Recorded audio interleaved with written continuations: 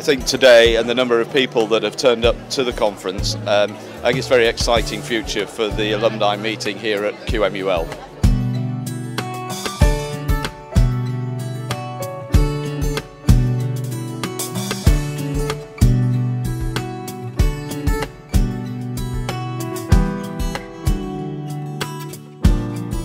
I met a few of my colleagues and uh, partly again I do a bit of work for the General Dental Council and it's just to keep up with, with current topics and developments.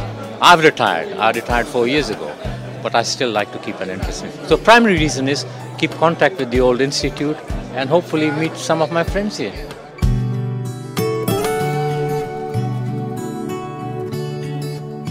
I was admitted in 1963 October to the, to the London Hospital Medical College, which was a great honor, and then started at the Dental Institute in 1965. I've had a long affiliation there with the, the, the school, and I must mention one name, Professor Ron Fearnhead, who was instrumental in getting me admitted to the school.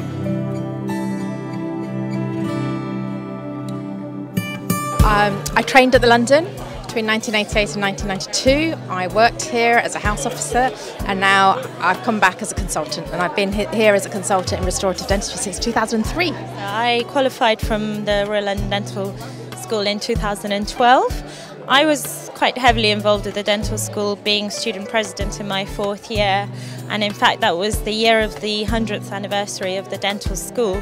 So I was quite involved in the uh, centenary celebrations, and I think seeing all the alumni come back and the layout of the meeting made me realise how passionate people are about the Dental Institute and what a kind of close knit community we are. And as a result, I've remained affiliated and stayed on the committee, and I come to this meeting every year and I try and help out. Um, and it's it's a really great platform for ongoing support and, um, in fact, seeking career opportunities. So that's that's how it started for me.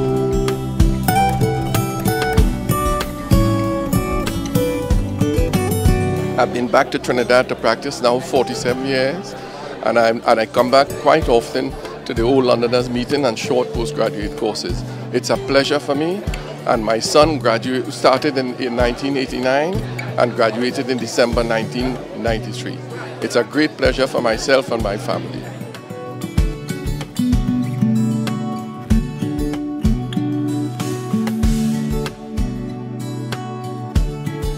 Well, this is one of the scientific meetings that I would say I always look forward to and I never miss.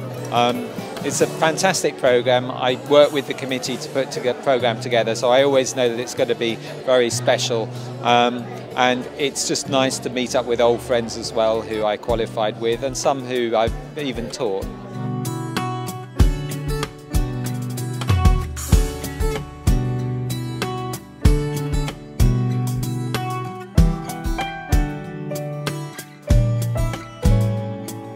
Well, we thought this was a brilliant opportunity to support, well, one of our best friends. We've all been at dental school. We were all dental school together and we graduated in 1992. So it's a fantastic opportunity for us all to get together, catch up, see what's going on. And also, Lochna here was actually one of the um, invited speakers today. So we really wanted to support her and also hear what she had to say about managing a very difficult uh, group of patients.